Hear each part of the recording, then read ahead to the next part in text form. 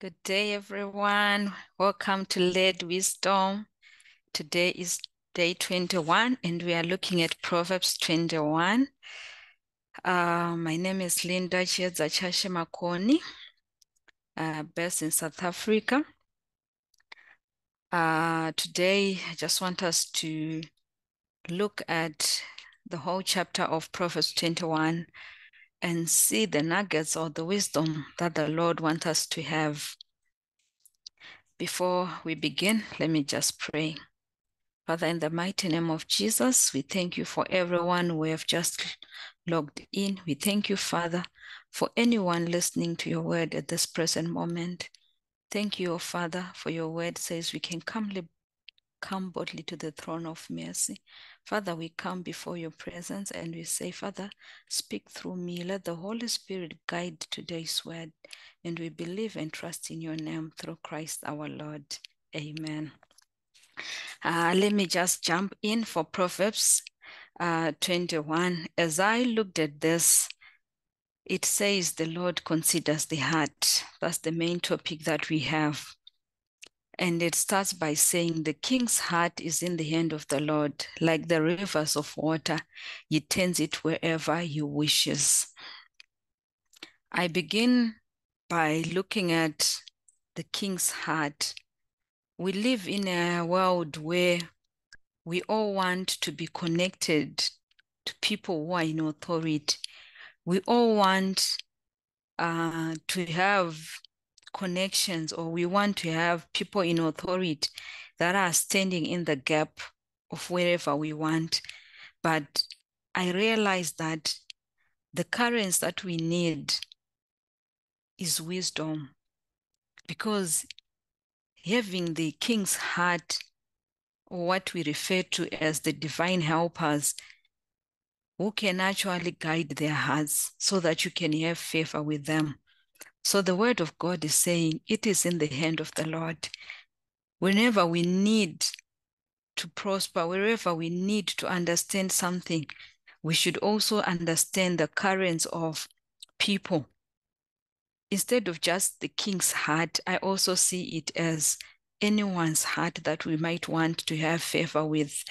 And the first relationship that we are supposed to look at is the relationship between you and the Holy Spirit because it brings the anointing. What is your relationship with the Holy Spirit? The next relationship that you need is between you and the Word of God because it brings understanding. And you also need the relationship between people.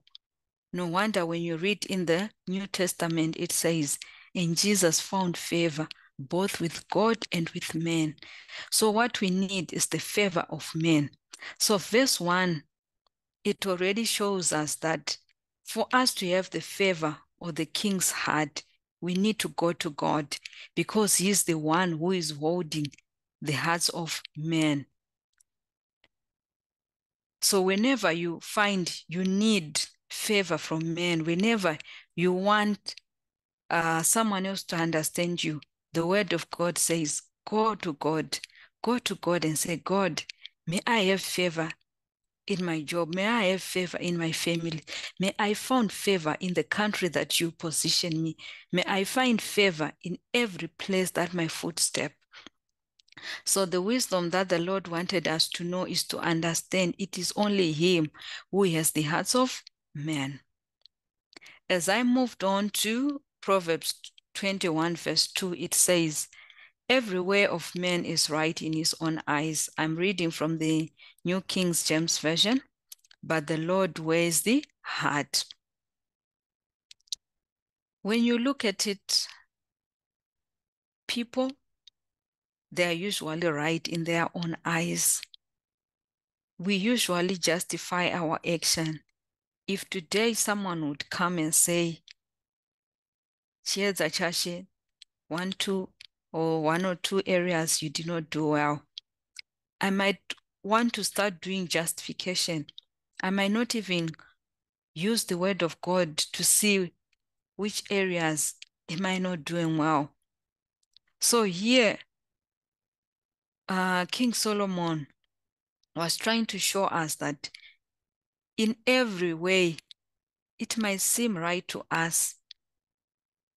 We might have certain action that we do that might even seem right to us, but God is saying that might not be the way. Come to the Spirit, come above, come and understand from my Spirit so that you are able to judge, you are able to weigh. And most of the times, the Word of God already says in Proverbs do not lean on your own understanding. In all your ways, submit submit to him and you will make your path straight. Already god is saying our own ways might not be the right ones. When we actually submit to god and say god i don't know my heart. My heart is deceitful. Check or search my heart whenever we allow God or the Holy Spirit to search our heart, because our heart might show the true state of where we are at each moment. Normally, when people judge or people look, they usually look at the outward appearance. But the Lord says He looks at the heart. My prayer for us is to say, just like in Ezekiel 36, verse 26. God, I pray that you give me a new heart and put a new spirit within me. Give me a new heart. Give me a new heart that desires your desires, a new heart that sees according to the way that you see, a new heart that judges according to the way you judge. And let the words of my mouth and the meditation of my heart be acceptable in your sight, just like in Psalms 19, verse 14. So the Lord is always looking at our heart. What is your heart condition as we are praying? We are looking at wisdom in this month, but what is the condition of my heart? Example might be we are praying to have certain things in our life. We are praying and trusting the Lord to say, God, move this mountain. But deep down in our heart, there's a prayer that simply says, Lord, once we have provided this, I know one or two people will see. So the real reason you are praying is not for the Lord to bless you, but you just want to show others. So our heart condition is what the Lord examines. And funny enough, you know, your heart condition can also make room for the devil to manipulate because he knows deep down you have pride. Deep down, you are selfish. Deep down, you want to prove to the world. So, yes, he will give you the desires, not because you are supposed to have them, but because he knows that deep down the pride will come out. So our prayer should always to say, search me, O Lord, search my heart. O Father, give me a new heart, give me a new heart that loves the way you love, that understand your word. A new heart is what you need. And as you continue to look at Proverbs 21, it talks about to do righteous and justice is more acceptable to the Lord than the sacrifice. For here, the Lord is simply saying, we need to walk in righteousness. That is more acceptable to God. Our prayer should be, we are righteous by Him. We were made righteous by Lord Jesus Christ. Righteousness is not our own walking. It's not our own way of doing things, but it is what the Lord is doing through Jesus Christ, through us. And at times, we should also come to the understanding that righteousness is not being religious. We need to come to understanding what is righteousness according to God. How do we walk in that righteousness? And the Lord continues to look at the heart. when you go down with uh, Proverbs 21, you'll see what a proud heart does. It says in verse 4 and a haughty look, a proud heart, and the plowing of the wicked are seen. The moment your heart is proud, it begins to focus on areas that are wicked. It begins to make plans that are not good. And at the end of the day, all wickedness will lead to sin. But the Lord even says, but the plans of the diligent leads surely to plant, but for those of everyone who is hast surely to poverty. The Lord is trying to say, in all our plans, we should be diligent. We should continue to seek the face of the Lord in all our plans and continue to say, God, guide us. God, show us the way to go. Because in moments of life, when our heart desires are not checked, when our heart condition is not looked or is not served by the word of God, you surely see people making hasty decision, not because they want to, but because they are quick to want their heart desires to be met. And some of these ways have even made people to quickly do maybe the rich schemes. But at the end of the day, it says it surely leads to poverty, meaning they did not get the understanding, they did not get the wisdom on how to act. And when you go with verse 6, it says, Some, because of the desires of their heart, it gives them a lying tongue just for them to get treasures. In this world, we have seen people who try to scheme others from their money, who try to scheme people. It leads nothing else but to death. And the Lord says you will destroy the wicked because they refuse to do justice. But the Bible always encourages us in verse 8 the way of a good man is perverse, but as for the poor, his work is right we should always ask God for a pure heart. Father, I pray for a pure heart. Father, I pray for a pure heart. Search my heart, search my ways, O Lord. Why? Because it is better to dwell in the house of the Lord, but than to dwell in the corner of a house store. When you continue to read Proverbs 21, it says you can actually share a house with a woman who talks too much, meaning our mouth. We have to watch what we say. At times, people run away from us because of our mouth, not just because of our character, the way our mouth will be. It already shows the current heart condition. And when people see the way that we use words, the way we have said, they would rather not be part of us.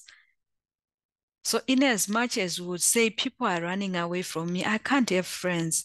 People do A, B, C, D. Have we checked our mouth? Have we checked what comes out of our mouth? Which words are coming out?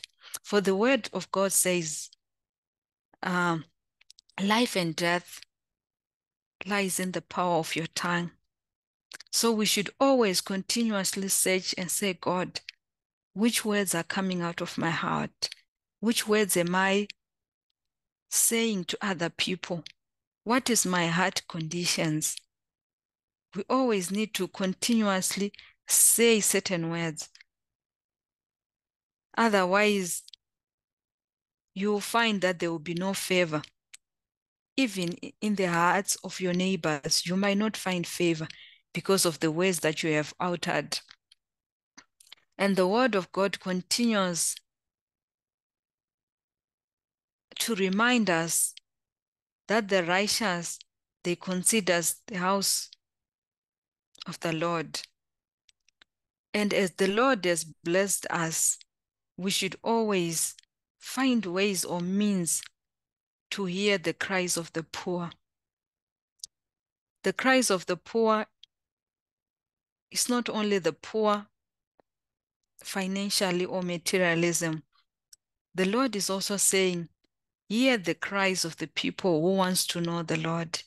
Hear the cries of the people who wants love, who wants understanding. Wherever you are, ask the Holy Spirit, Father, give me the, the ears that they can hear when people are crying. We have so many people in our lives, in our neighborhood, who would have committed suicide, others are depressed. And we always wonder to say, Lord, how do I help the poor? How do I help my neighbor? We should always continuously understand and have that listening ear to say, Oh Lord, may I hear, may I just be a listening ear to my neighbor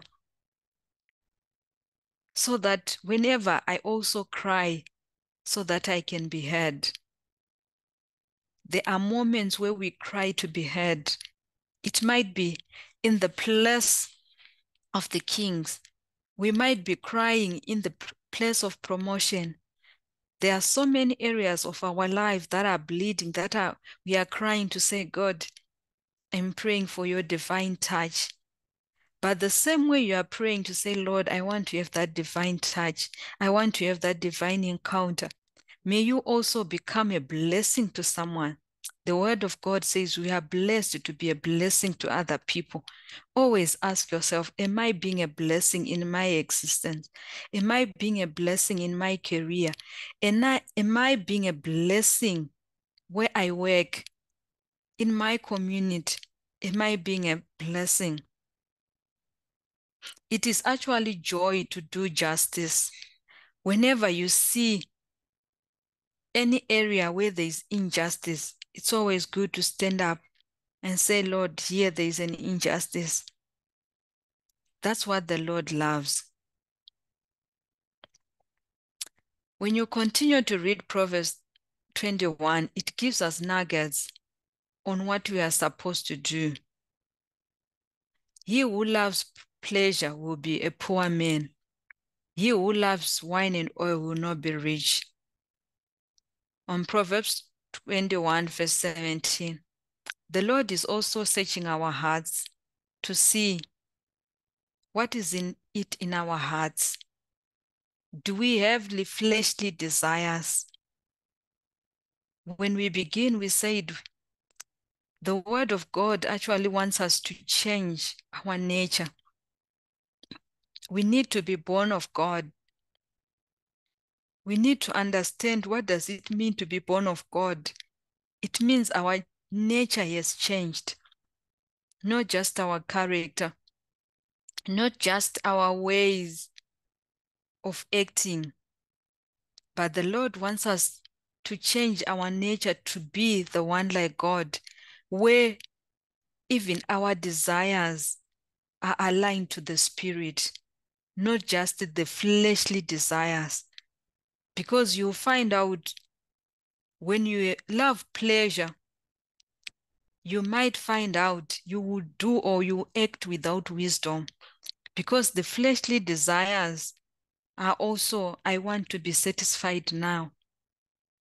I want people to see this is for me.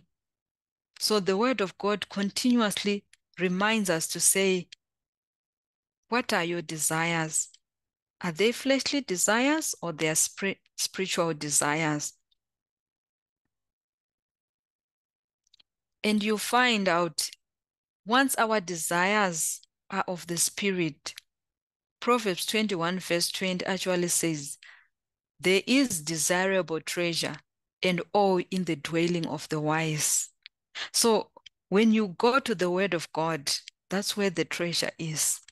Where, when you are in the spirit, you find out all your desirables are actually fulfilled because that's where the treasure is. And I love the scripture because it says, and oil in the dwelling of the wise. When something is referred to as oil, it means it never runs dry. We once talked about the wisdom that we need to say the earthly wisdom. It can come to an end. It, it has its limitation. But when you have wisdom from above, it's like an oil, it never runs dry. And it means even what you desire, the treasures that you have, the Lord continuously supplies. No wonder the word of God says, Seek first the kingdom of God, and all righteousness shall be added to you. And he who follows righteousness and mercy finds life, righteousness and honor. The moment we begin to walk in wisdom, the moment we begin to walk in the Spirit, we find life. For the word of God says, life is spirit. We find honor. It means in places where we did not even dream to be, the Lord will make a way for us. I love how Joseph, the dreamer, the Lord had already showed him the great man that he was going to be. Even though the events of life were showing the opposite, when you continue to read in the Old Testament, it says, and the favor of the Lord was with Joseph. So it was that favor of the Lord that actually brought honor. And today I just want to say some of the events of life have made you to feel like you are a Joseph. Some they've brought you to prison. Some have given you a label to be called a divorcee or a divorced wife.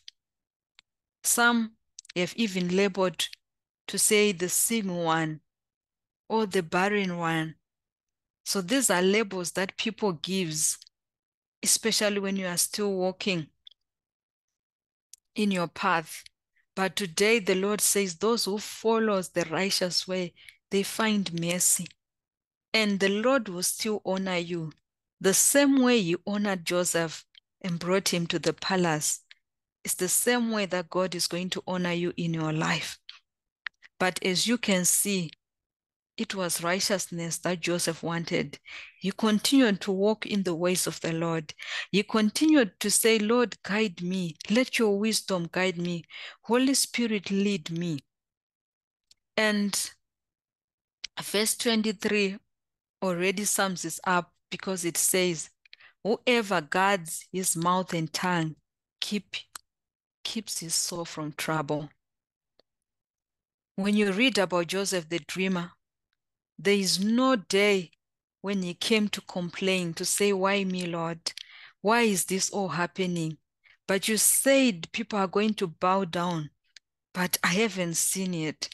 So at times, the wisdom that we need is actually to guard our mouth and our tongue. Which words have you been saying concerning your life, concerning your situation, concerning your word? The word of God continually says, confess the word of God, confess it aloud. Uh, personally, I have found uh, confessing the word of God aloud to myself has made or has changed me or the way I used to view life.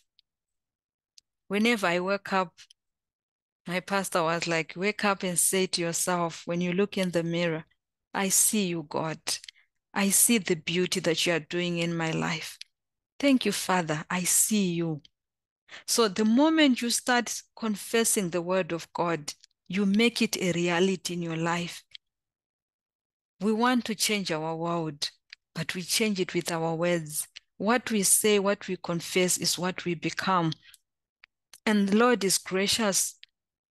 Whenever we had said the words that were against ourselves, the words that we have said that were without wisdom, probably at the moment of pain, you might have uttered words which the devil might want to use against you. But the Lord is merciful, says, Come to me as you are. So, Father, right now we come to you and say, Lord, at that moment where we have said any words without wisdom, we ask for your mercy. We ask for your mercy over those words. We ask, Father, to retrieve them And Father, we speak words of blessings. We speak the words that you would want us to say to ourselves. For when you look at the Bible, when the Lord wanted to create the world, he used these words. He would say, and it was good. We pray, Father, to have that wisdom in our life. May we guard our mouth and tongues so that we can preserve our soul. The wisdom that you can just see and understand in Proverbs 21 will make you want to say, Oh God, at every moment, renew my mind. Renew my mind. I pray for a renewed mind, a mind that knows who I am, the mind that knows my identity with Christ, and also to understand that the desires that we have can actually kill us. When you look at uh, Proverbs 21, verse 25, it says, The desire of a lazy man kills him, for his hands refuse to labor. It just shows me that there are times where the desires of our hearts can even kill us, especially when we refuse to labor. The Word of God already shows us how we are supposed to work, how you will bless the work of our hands, how He wants us to be in partnership with Him. Because each desire that we might want to have, it might kill us. My prayer for everyone listening is to say, God, search my desire. Do not lead me to the desire that will kill me. May I not refuse to labor. The word of God encourages us to be patient, encourages us to persevere, encourages us to continue with the way of the Lord. How many times did our desire make us lose that path and walk in a different path? Which desires have been planted in our heart? Father, uproot anything that is that is in our heart that was not planted by you.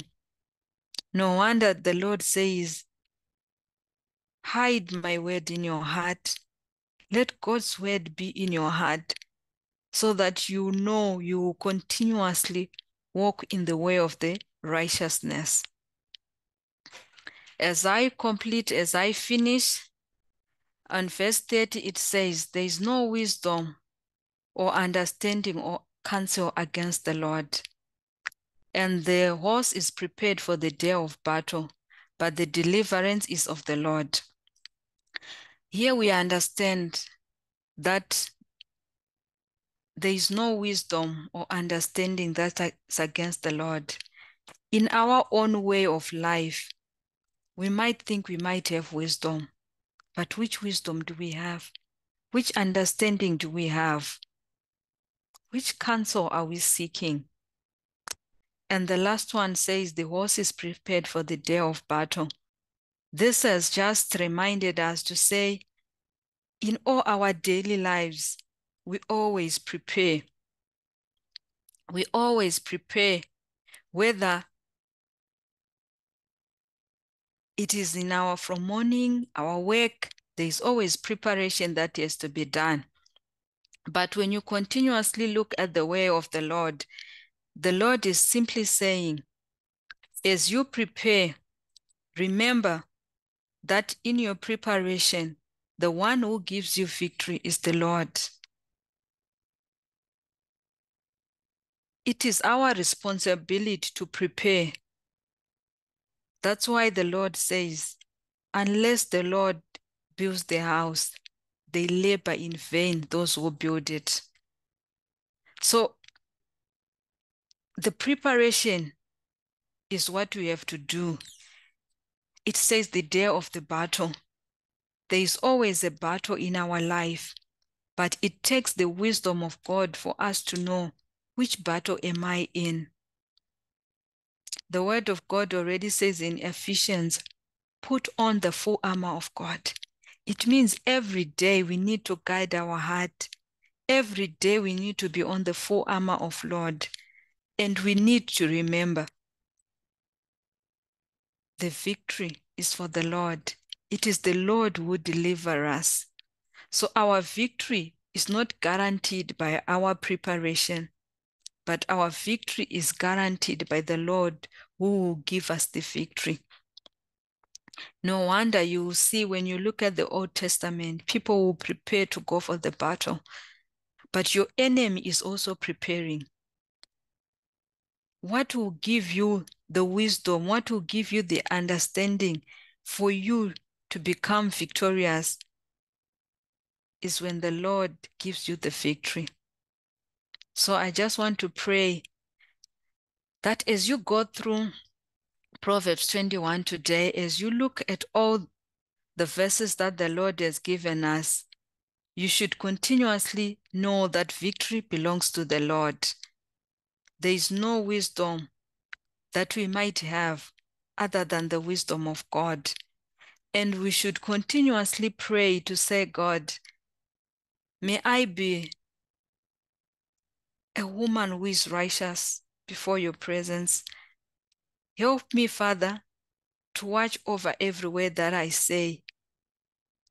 Help me, Father, to look at my heart and my desires. Guide my mouth, guide my tongue. Help me to preserve my soul in all that I do.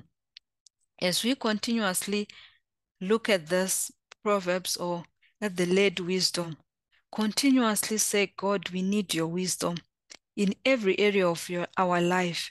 We pray for wisdom that comes from above. Thank you, everyone, for logging in. Thank you, everyone, for this moment. And we'll see you tomorrow as we log in to do Proverbs 22. Thank you.